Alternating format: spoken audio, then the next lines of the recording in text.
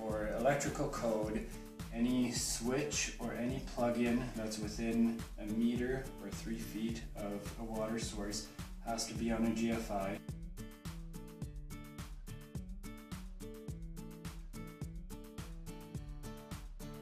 And to check your GFI to see if it's working or if you find that it's tripped, uh, it would be the test button that you push which trips it.